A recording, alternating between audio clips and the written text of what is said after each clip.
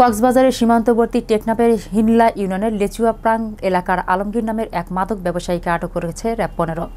মঙ্গলবার ভোরাতে মাদক নিয়ন্ত্রণ অধিদপ্তর ও র্যাব পনেরো এর যৌথ উদ্যোগে একটি আভিযানিক দল গঠন করা হয়।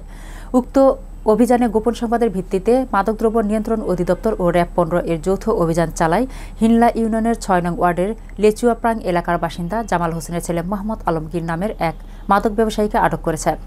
এ সময় তার সহযোগী ও দুজন কৌশলে পালিয়ে যায়। পরে তার বাড়ি তল্লাশি করে বিশেষ কায়দায় রাখা আটশত গ্রাম আইস, এগারো হাজার ইয়াবা, দুইটি দেশীয় তৈরি রাইফেল, তেরো রাউন্ড তাজাগুলি এবং চারটি ধারালো কিরিজ সন্ধ্যায় টেকনাফ মাদক নিয়ন্ত্রণ অধিদপ্তরের সহকারী পরিচালক সিরাজ মোস্তফা গণমাধ্যমকে এ তথ্য নিশ্চিত করেন। আটককৃত আসামিকে মাদক ও অস্ত্র আইনে পৃথক মামলা দায়ের প্রক্রিয়া চলমান বলে জানিয়েছেন টেকনাফ মাদক নিয়ন্ত্রণ অধিদপ্তর।